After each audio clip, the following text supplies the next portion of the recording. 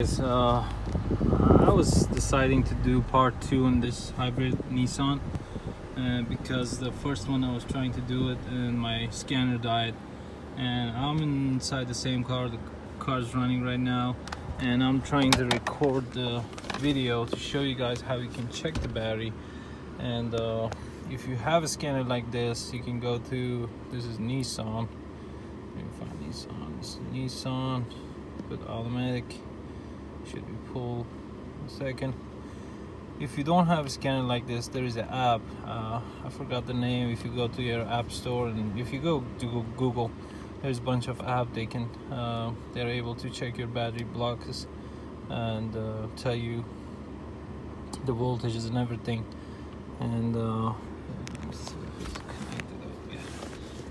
okay this is 07 Nissan Altima 2.5 okay. And you need to go to HVECU pull the code current code and there's no code. The check engine is on but this check engine is related with the evap I'm not worried about that. You need to go to data display and there's a battery data. And if you go to the battery data it's collecting the data. Okay. You go down. You see all the battery pockets.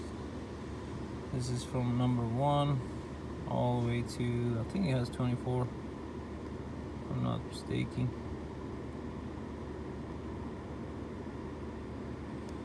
Okay. There is an internal resistance 0.02 ohms and this is correct. All of them need to be the same. You can diagnostic through the ohms resistance. If it's high resistance there's a problem. And uh, the voltage it need to be the same same thing you know 15.2 15.10 or something like that. It, it fluctuates but it need to be around like uh, 14 9 15 9 and if it goes down it's, it's there's a problem on that block and normally shows the numbers you can see. That's that's how I found the problem when I was checking. I think it was number 11 but this number when you count the block on the battery it's not matched because this is different number. This is computer number that was a block number. But uh, there's a mm, there's some certain uh, information you can use. I'm not sure how. But uh, the number 11 was showing 6.9 or 7.9 and I found out this block it's cut off. And the problem I've, uh, it's easy to do the diagnostic because when you find one block is cut you know because it's all all connected together and the current need to pass through all of them.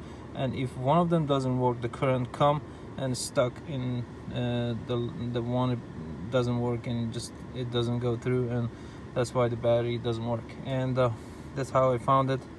Uh, I hope you find this video helpful guys and if you like it hit the thumbs up. And if you have any question about the hybrid please uh, leave it on comment and I'll answer it as soon as I can. Thank you